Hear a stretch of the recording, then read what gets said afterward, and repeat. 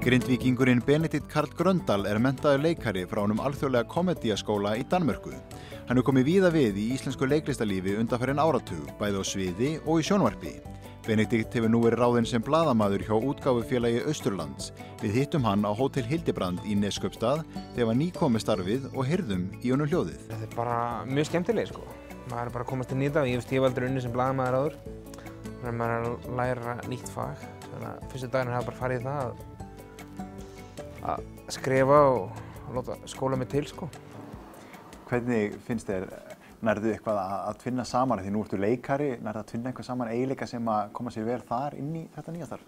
Já, algjörlega. Þú veist, það er bara maður er að skrifa um, um, um fólk og málumni og það, maður er að segja sögur og mununni er, er bara kannski maður er alltaf að segja sanna sögur.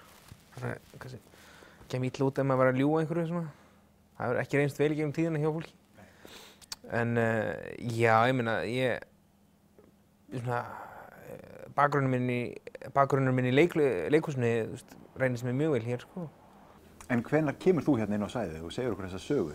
Já, sko ég flytingað fyrir, hvað, svona cirka 3-4 árum þegar uh, þá var kona minn búin að fá vinnu hérna hjá Náttúrstofu Östurlands og, og uh, ég hafði þá uh, verið á samningi á leikfélagi Akureyrar og klára hann og kem sérna austur og já, og flytt bara hingað sem að var geggja, geggja skref fyrir mig og, og bara að byggja upp líf og fjölskyldu hérna. Og ég sjálfur kem frá Grindavík sem er líka svona smá bær, bara fyrir sunnan. Og uh, þannig að mér líði mjög vel í, í svona minn, minni bæjum og þá hérna, þú veist, hér er, er svona klísi segja það, það svona, það eru fleiri klukkutímar í sólarhingnum hér og það, ma- þú veist, það er alltaf að tempó og maður hefur tíma fyrir svo margt annað.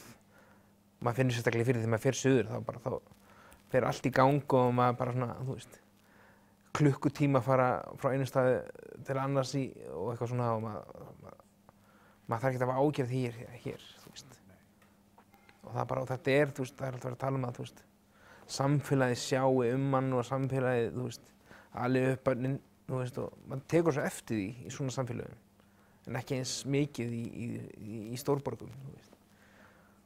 Og það er frábært að, að búa hérna, sko.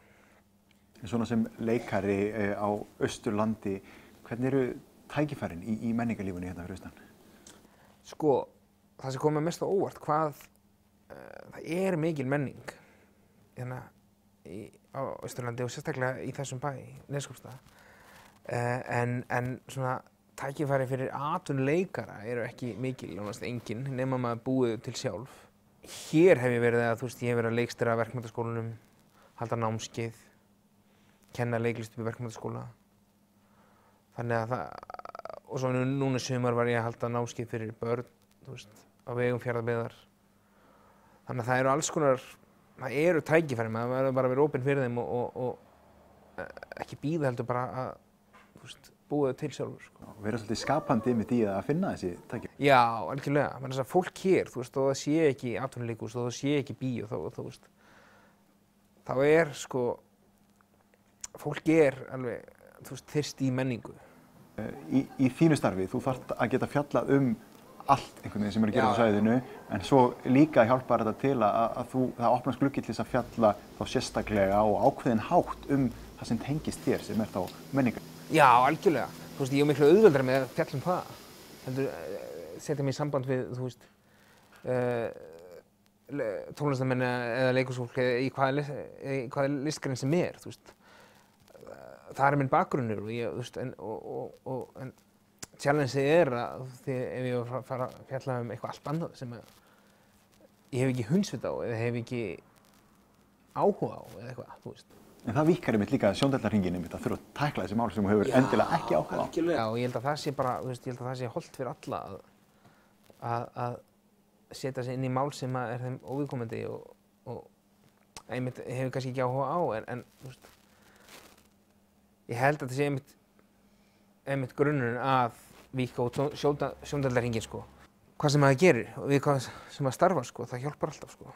og það hjálpar þér þá kannski meira inn í þá, þá leiklistina. Það er ákveðni karaktera sem hún hittir á þessari vekkferðinni í, í blaðmarastarfinu og... Já, það mitt getur rétt ímyndaði maður að, veist, að það er alltaf einhverjir, geggjaða týpur sko og maður að tala um fullt af fólki sem er bara mjög skemmtilegt og, og, og það er líka svo gefandi að tala um fólk sem hefur áhuga á sínu, sínu stöfi og vill, þú veist, uh, koma því áleiðis. Það er líka mjög hvetjandi en ég hlaka mikið til að, að hitta alls konar fólk og vonandi fyrðufuglega sko. Það er bara fer, fer í bankanin hjá mér sem leikari líka sko. Það, það, ég hlaka mjög til það. Það er mjög eigingjart að hugsa svona en það, maður, maður kýtlar bara svona að taka, taka viðtal með einhvern og að þetta er bara eins og störlulega karakter sko og bara geta nýtt það senna og það kannski láta leið, tíman líða eins áður maður fyrir að nota það eitthvað svo fólk alveg spotta ekki strax bara já þessi hann er nú bara að nota hann sigfús hérna á skjaldastöðum þetta eitthvað svona en uh, já algjörlega það var eitthvað sem ég hlakkaði mikið til að vinna hérna uh, til vinnunar á austuglökunum að, að emmi þetta að bara kynnast fullt af fólki og bara tala við alls konar týpur eins eins og þú þekkir sjálfur sko. Og einhvern veginn að fá út úr þeim og, og öllum fólki bara, þú veist, sögur og já,